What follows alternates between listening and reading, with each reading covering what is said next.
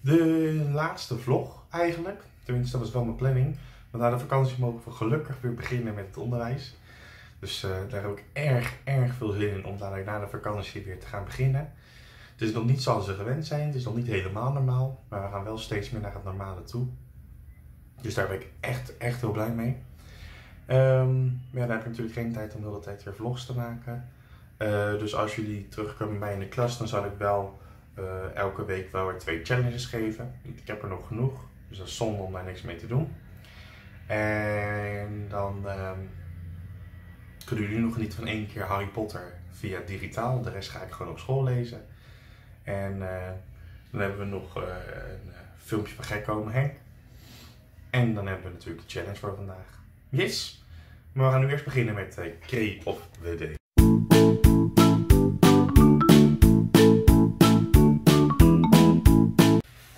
De hint voor vandaag was If you can dream it, you can do it. En het gaat over.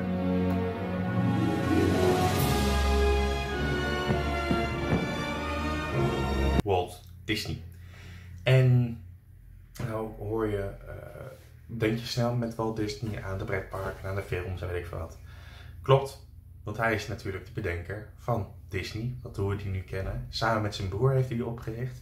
Het gaat over Walter Elias eh, Disney. Hij is geboren op 5 december eh, 1991. Eh, 1991, 1901, sorry. En ehm, in Los Angeles, in Amerika ligt dat. En hij was filmproducent, filmregisseur, animator, zakenman, ehm, stemacteur. Hij was eh, entertainer en hij was een filmicoon. Dus hij zat niet stil en hij verveelde zich sowieso niet. Hij had eigenlijk alles wat los en vast zat met film, dat deed hij. Eh, hij heeft heel veel personages bedacht. En ook heel veel personages ingesproken. Bijvoorbeeld Mickey Mouse is een eh, stem die hij heeft ingesproken. Ehm, in Nederland horen wij niet zijn stem, want dat wordt hier gedaan door een Nederlandse stemacteur. Wat eigenlijk ook wel logisch is. Eh, hij is overleden op eh, 15 december in 1966. Eh, hij was al langdurig ziek. En je zou denken dat nadat Walt Disney was overleden, dat Disney dan eh, ook niet verder zou gaan. Maar zijn medewerkers zijn doorgegaan. En zoals we hem nu ook kennen, het is een gigantisch succes. Eh, tientallen films gemaakt, series, eh, enorme pretparken. Dus het is eigenlijk heel erg goed gekomen met, het, eh, met de naam Disney, met het eh, bedrijf Disney. Ehm, heel veel mensen denken dat Mickey Mouse eh, het eerste figuurtje is die hij heeft bedacht en getekend. Dat is logisch, want het is ook heel lang geleden dat hij Mickey Mouse heeft verzonnen. Maar het eerste, de eerste figuur die hij heeft bedacht en heeft getekend, dat was Boris Boef. Dus eigenlijk is dat het eerste tekentje, het eerste personage van Disney. Ehm, maar omdat Mickey Mouse zo onlosmakelijk verbonden is eh, met Disney, denken we heel veel dat eh, Disney, of dat Mickey het eerste cartoonsje was van Disney. Ehm, het, eh, hij heeft verschillende pretparken. Eh, er staan pretparken in Amerika, in Europa. En ze zijn volgens mij, als ik het goed zeg, ook bezig met zo'n pretpark in Azië. Ehm, en het grootste pretpark van hun, dat staat in Orlando, in New Orleans. Dat is 120 vierkante kilometer lang. Dus daar ben je echt niet binnen een dag klaar mee. Daar moet je echt wel een paar dagen voor uittrekken om alles te kunnen zien. Ehm, vergeet ik nog iets? Vertellen, even kijken of ik alles heb benoemd. Volgens mij wel. Ehm, oh ja, Walt Disney die heeft natuurlijk best wel veel dingen verzonnen. Eh, waar ze voornamelijk bekend mee werden is dat zij de eerste lange speelfilm, animatiefilm gemaakt hebben.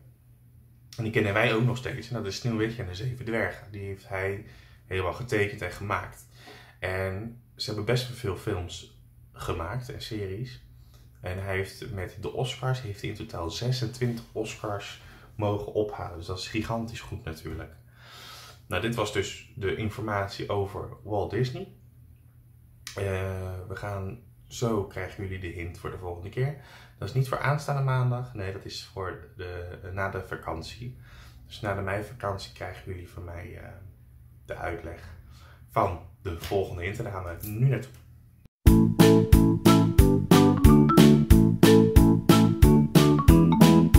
Oké, de hint voor na de vakantie is...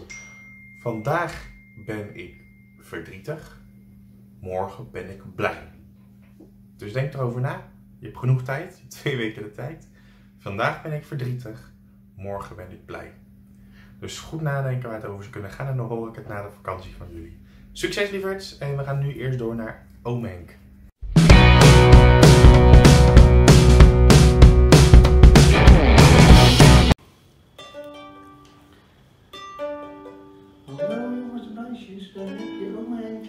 En ze door de poedelkees. Wat zal, zal, zal die toch vandaag weer gaan vertellen?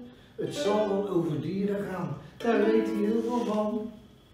Koningspoedels, tijgers en gazellen. Zo, hallo. Daar zijn we nog weer. En we gaan het vandaag hebben over een kariboes. En een kariboe, dat zijn wilde rendieren. Ja, dus een soort hele grote herten, zeg maar. nou, kijk, dit is een kariboe. Zie je het? En hier zitten ze in het water. Plots, de kariboe stapt in het ijskoude water en begint te zwemmen.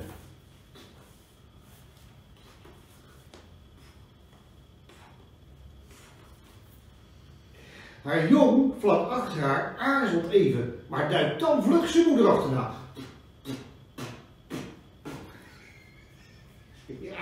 Ja, lief? Ja. Samen vinden de twee dieren hun weg door de rivier. Ze houden hun kop boven het oppervlakte, terwijl hun lange poten flink onder water trappen. De sterke stroming voert de zwemmers een stukje meestroom afwaarts. Maar al snel klimmen ze de oevers op. Ze schudden het water uit hun dikke vacht en lopen verder. Weer een rivier veilig overgestoken. Deze twee kariboes zijn niet alleen. Al duizenden hebben voor hen de rivier doorkruist en er zullen er nog duizenden volgen. In totaal meer dan honderdduizend. Ze hebben weken gereisd en zijn talloze rivieren overgestoken op hun lange trektocht naar het zuiden. De reusachtige reis van de Kariboes begon aan de kust van de Noordelijke IJszee, waar ze de zomer hebben doorgebracht. Daar kregen de vrouwtjes hun jongen en nu trekken ze het land in, naar de bossen. De bomen zullen hen enige bescherming bieden als de winter aanbreekt. Door met een hoeve in de sneeuw te graven, zullen ze genoeg bossen kunnen vinden om te eten.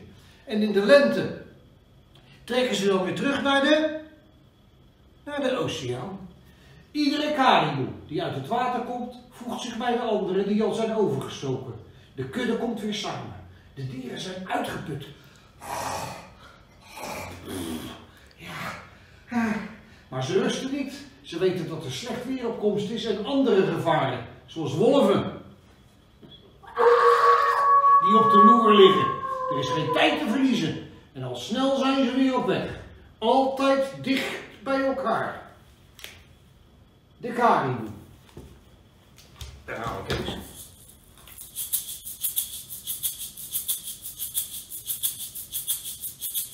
Op een kariboe kruispunt, waar je kariboes vindt, zoekt een kariboe-moeder naar haar kariboe-kind. met z'n allen op een kariboe-kruispunt, waar je kariboes vindt. Zoekt de kariboe-moeder naar haar kariboe-kind. Nou, dat was het dan weer voor vandaag.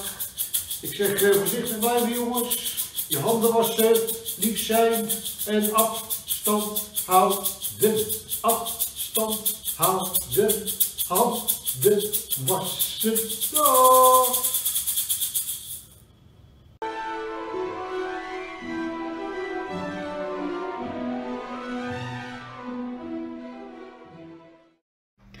Geen tovenaar, hè? Heb je nooit la dingen laten gebeuren als je bang of boos was? Harry staat er naar het vuur. Nu erover nadacht, al die rare dingen waar zijn oom en tante woest om waren geworden, waren altijd gebeurd als hij overstuur of kwaad was geweest. Toen hij achterna werd gezeten door Dirks vriendjes, was hij plotseling en op onverklaarbare wijze ontsnapt.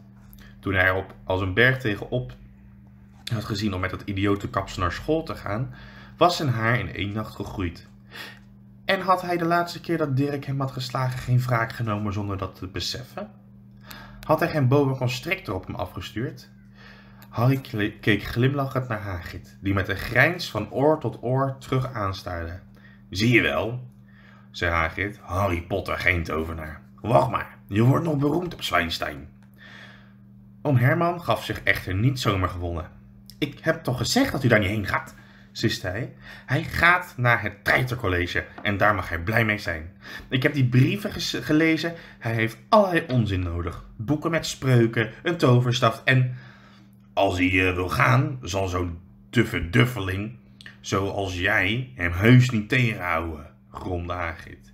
De zoon van Lily en James Potter niet naar Zwijnstein laten gaan? Je bent niet goed bij je bolle harses. Direct toen hij van werd geboren, heeft hij al ingeschreven. Nee, hij gaat naar de beste school voor hekserij en hocus in de wereld. Na zeven jaar kent hij zijn eieren niet meer terug.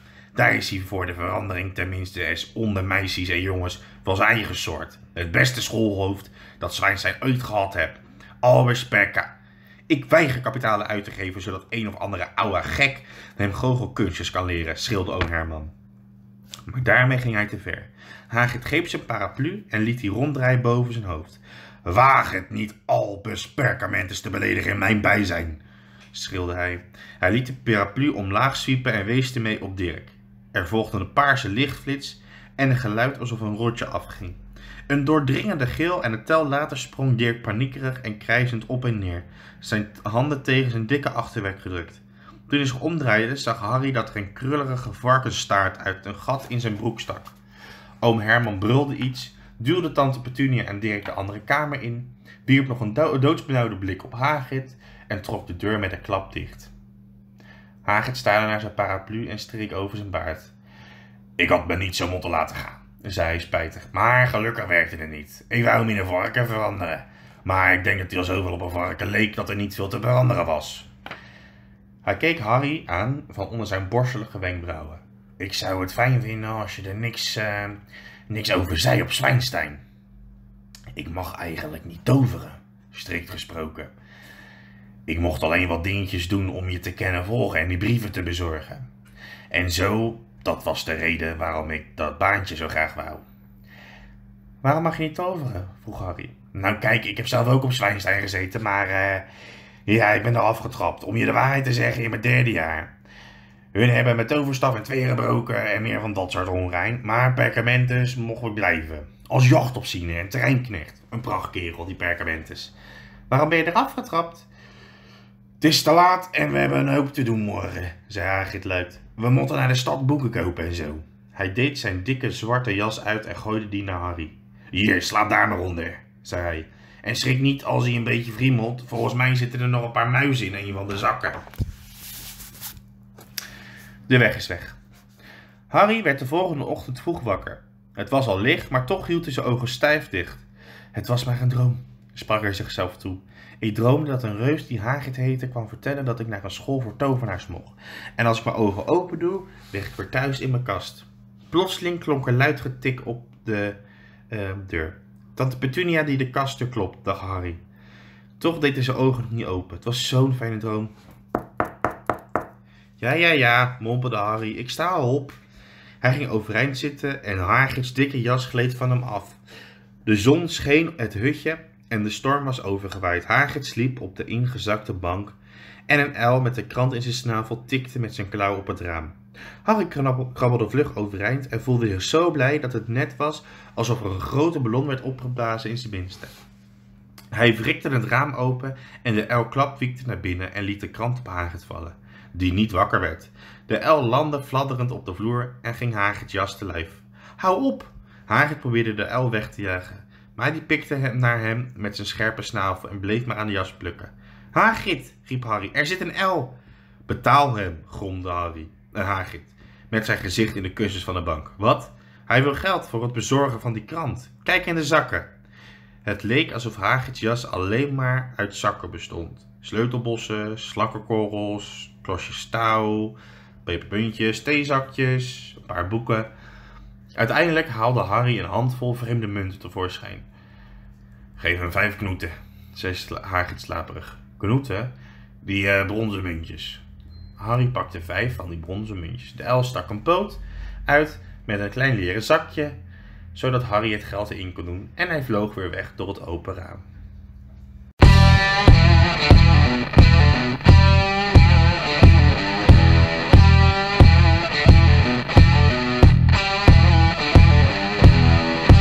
Hallo allemaal, ik ben Simone Kleinsma. En jullie kunnen mij kennen van de serie Kees Co. van televisie. Maar wat ik eigenlijk meer doe, is werken in het theater. En ik sta op het ogenblik in de musical Hello Dolly. En we hadden op 8 maart hadden we première. En toen hebben we nog één voorstelling gespeeld. En toen ging dat ook dicht. Toen zaten we ook thuis, net als jullie. En het is best een beetje saaiig en de dagen zijn een beetje lang. Dus heeft meester Quinn, jullie meester Quinn, mij ook gevraagd om een opdracht voor jullie te verzinnen. Nou, toen dacht ik, wat wij altijd doen bij een première, eh, dan geven we elkaar kleine cadeautjes. En dat heet een toy, T-O-I. Waar het woord precies vandaan komt, weet ik ook niet. Maar het betekent in ieder geval dat je elkaar eh, een beetje geluk wenst op die avond. Dat het allemaal goed mag gaan. Dat het decor niet omvalt en dat je niet uit je broek scheurt en je tekst niet vergeet. En dat heet dus een toy. En dan schrijven we erop toy, toy, toy. Drie keer. En nou leek het me zo leuk als jullie voor iedereen van de klas ook zo'n klein cadeautje gaat maken. Dat als jullie in mei, hopelijk in mei, weer naar school mogen, wat jullie nu heel graag willen, Ehm, dat jullie dat kunnen uitdelen. En dan schrijf je daarop toy, toy, toy. En dat wil dan zeggen heel veel geluk en we hebben er zin in. Dus, ehm, nou, jullie hebben er voorlopig nog even de tijd voor. Dus maak voor iedereen een heel leuk klein cadeautje. Dat kan van alles zijn. Dat kan een klavertje 4 zijn, of een hartje, of een ballonnetje, of een tekening, of een leuke kaart. Of, nou, verzin het maar. Nou, dat was mijn opdracht. Heel veel succes. Oh nee, heel veel toi toi toi. Dag!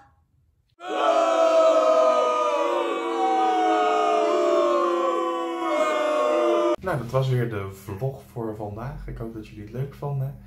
Ehm, de challenge vind ik zelf heel tof. Eh, dus eh, ik ga er ook mee aan de slag. Dus die resultaten zien jullie allemaal in de klas nog wel een keertje. Voor nu, hele fijne vakantie. Rust lekker uit.